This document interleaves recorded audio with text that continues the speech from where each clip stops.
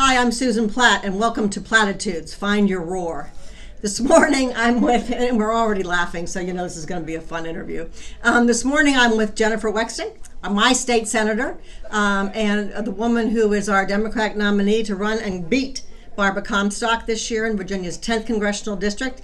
If you hear a little bit of noise in the background, we're in her office and it is filled with men and women getting ready to go, ready, ready to go out and work for Jennifer. Um, but Jennifer, I, I start all these uh, podcasts, but they tell me we're doing vlogs too. So I, I'm not of the younger generation, so I'm going to call it a podcast.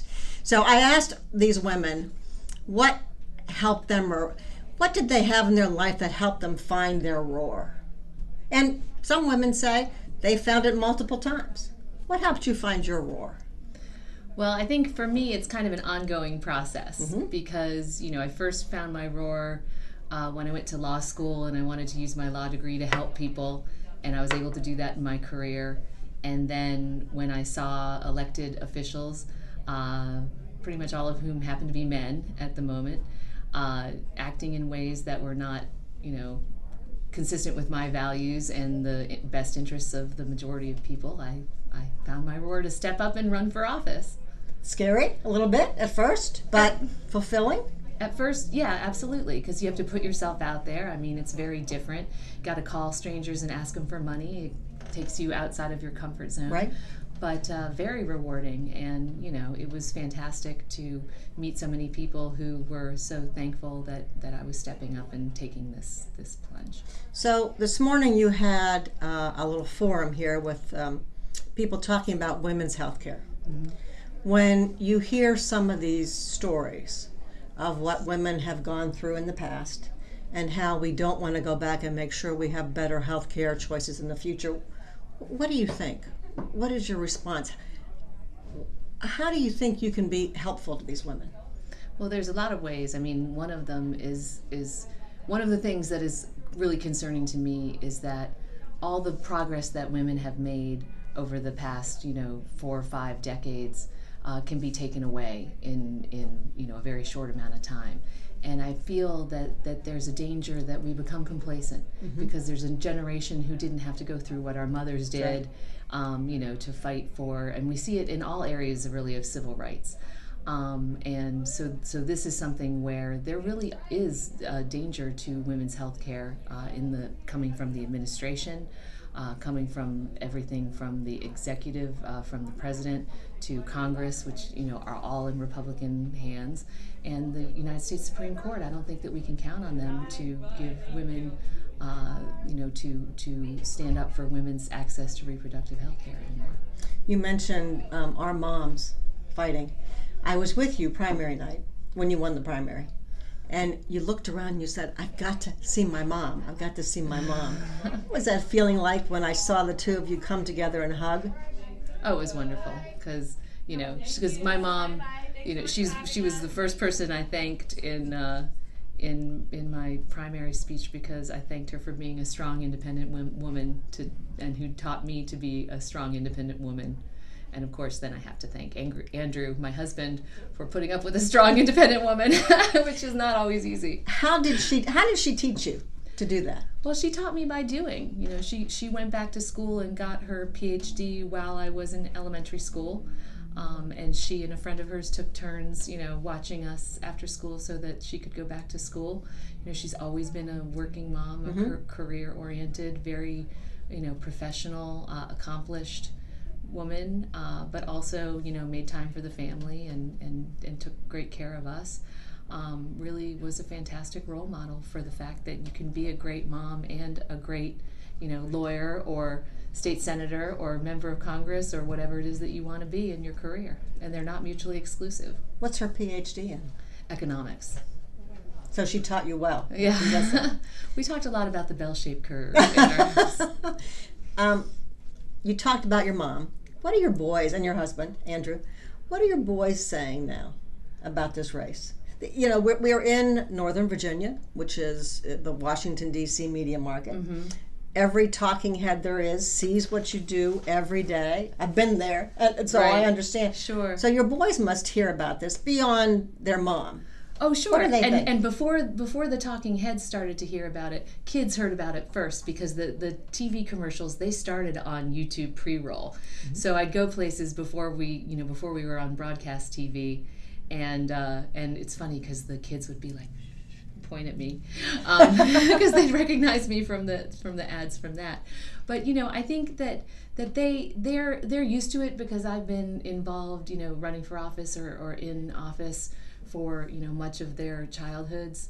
Um, but they they they know that i'm doing it because I want to make sure that I create the best world for them going forward, and they know how important it is that we, you know, bring our country back to the values that we believe in. So they're they're cool about it. You know, Jamie, my 13 year old, he uh, he'll he'll tell me about how kids will be like, "That's Jennifer Wexton's son," and he said a girl came up to him at school last week and and said, "Jennifer Wexton's your mom, right?" And and he said, "Yeah." And she said, "She's amazing." so it's great. I've- That's wonderful. one of one of the things that's really been fantastic for me is how many you know young women and girls are really excited about you know my candidacy and the fact that there's a woman running and who who represents their values and is looking out for them. Sometimes, as we discussed in this media market, things can get pretty tough. Um, and, and a lot of women I know that think about running for office think, oh, I don't know, it's just so hard. Mm-hmm. It's so nasty. How do you get through the day when the attacks start flying furiously? Well, I knew going into this. I mean, I know Barbara Comstock and her and her game plan and her playbook. And, What is and that? That's attack, attack, attack, uh, lie, uh, you know, and and attack, uh, and drag me down in order to to bring herself up. I don't, you know, I don't believe necessarily in that kind of zero sum game, but I knew that was what was going to happen. So, you know, I try to focus on a positive issue focused uh, campaign and, and talking about why people should vote, you know, for me rather than just against someone else. I think, you know, there's so much negativity in trying to tear people down. I think we need to focus on, you know, get away from the gloom and doom and back to the hope and change. Um, but as far as, you know, the nasty TV ads, it's no fun, but it's it's another example of what I've been doing my whole career, which is standing up to bullies. Mm-hmm. Because you can't just say, "Oh, it's too it's too hard," or you know, or I, I don't I don't have the stomach to put up with that because then they win. Mm-hmm. So you know, and so I've I have found that it it it does not.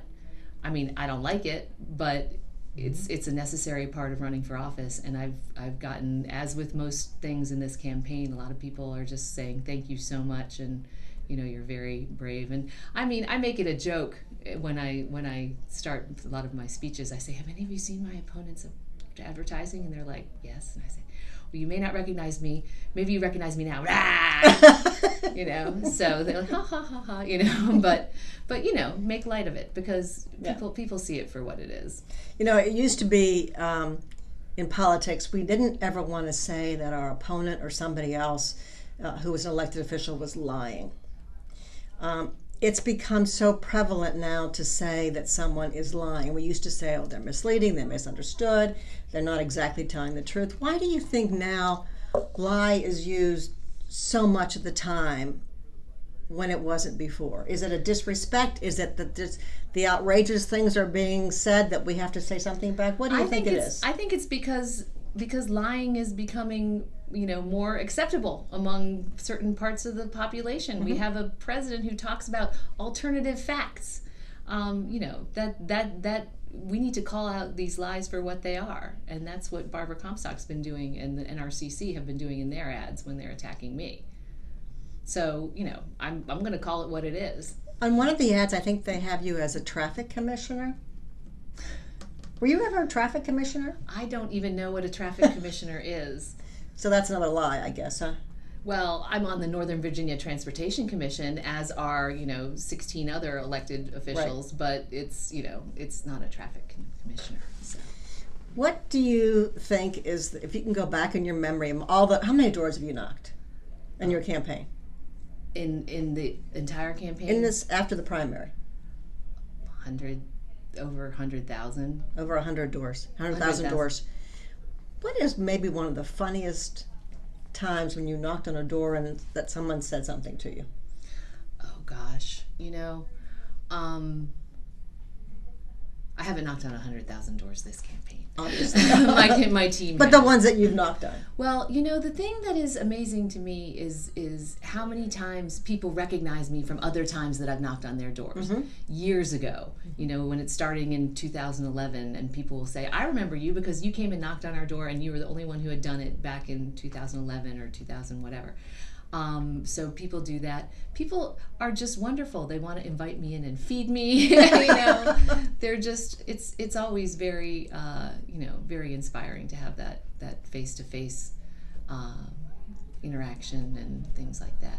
I don't know that I have a lot of funny stories. No, uh, you know, no naked people or anything like that, which I know some people have experienced on their on their on their uh, doors. But no, I can't say I've had I've had any of those. Well, then things tell me, are you having fun? Yes. What's the most fun thing you've done? Fun.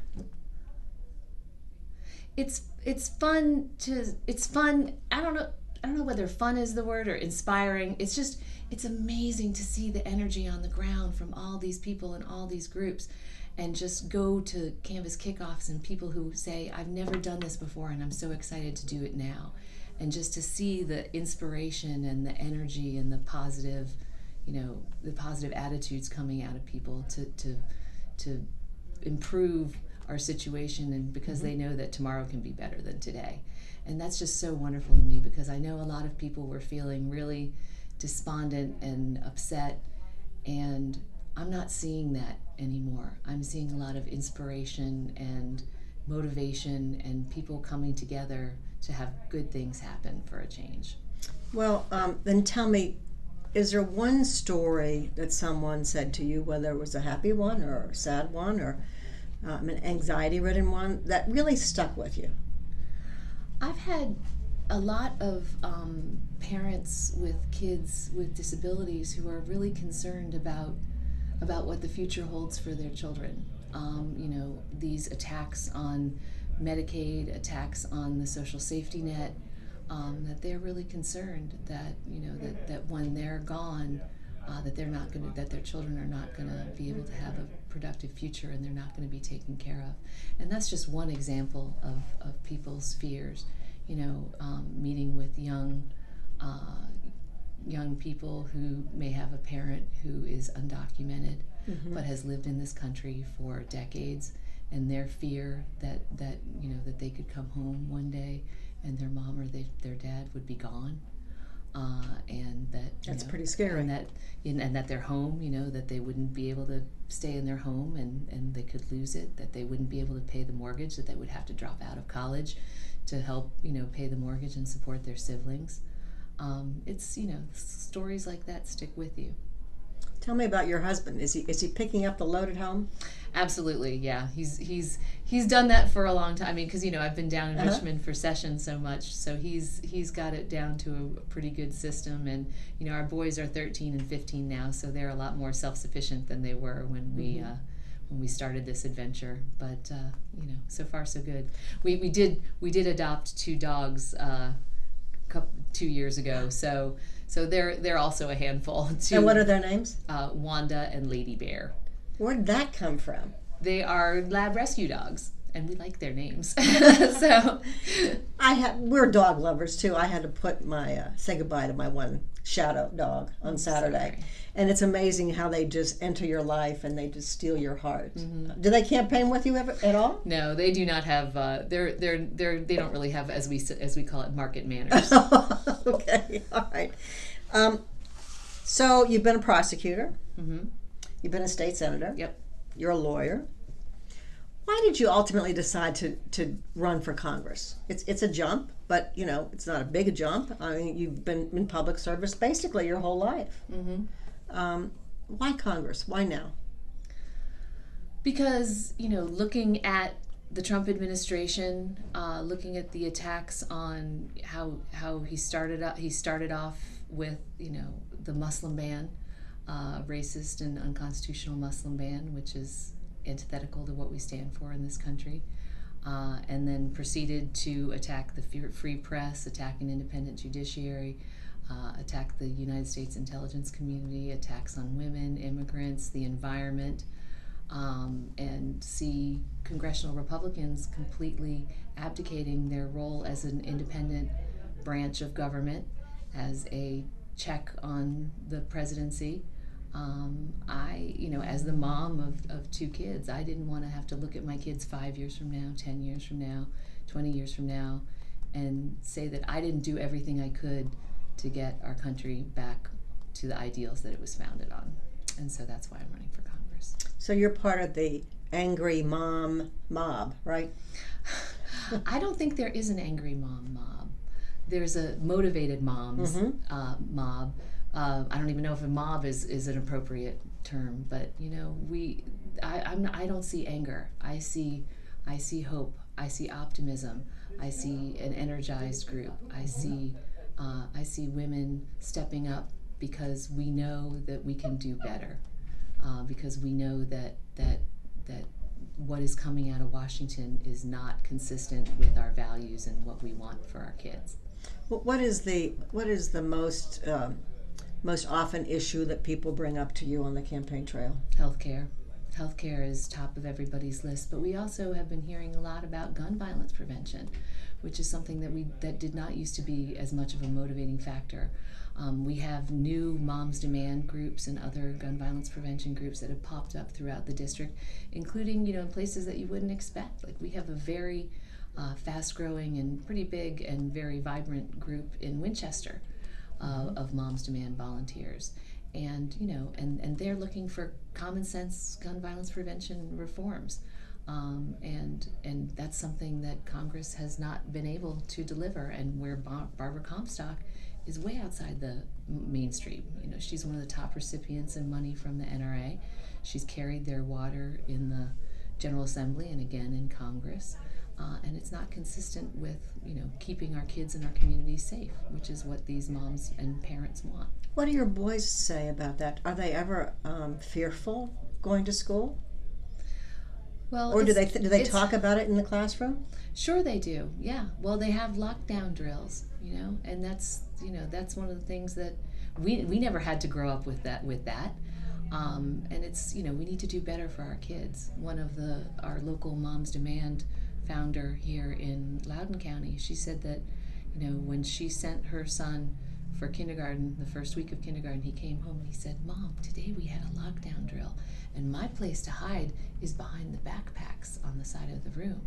Oh, and and she said you know that's it you know because uh, like a backpack having a child hide behind a backpack is is our is our plan uh, we need to do better for our kids I think you missed the generation. It was my generation that um, when we were in, in grade school, we had drills, but it wasn't the same kind of drills. it was the it was the get under your desk It was get the under your desk bomb, or right? get in the hall, and somehow that was going to protect us from the nuclear bomb and fallout. I guess in some ways it's the same thing now. hmm I- Are these drills really going to save a lot of lives, or do we need we need to do better? Right? well we need to do better we need to do better and and you know and the the epidemic of mass shootings and school shootings you know we've done nothing to prevent that from happening um, and we need to do better in talking to other women across Virginia, um, everybody's kind of looking to make a difference in some way.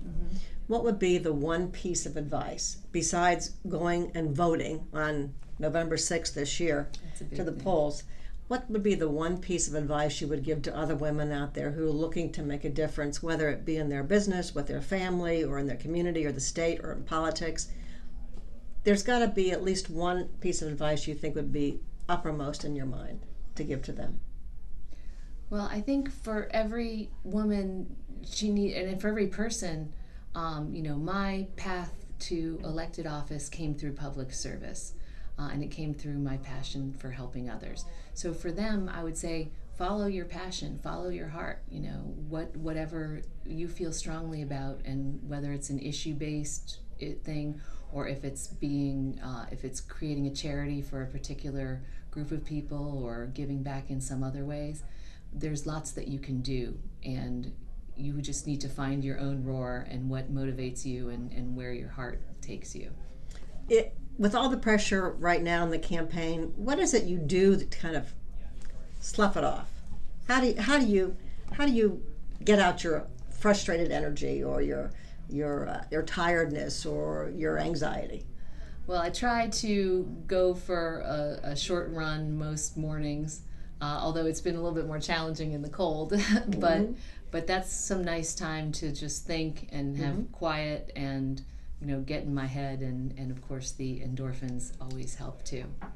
Um, thank you very much, Jennifer Wexton, for joining me today for plattitudes, find your roar. And one thing I do at the end, Jennifer, and you can either look at me like I've lost my mind or join me in it, is I say, find your roar. Okay. Find your roar. You want to roar with me? Yes. Roar! I gotten lots of practice with those, uh, with all the uh, opposition uh, ads.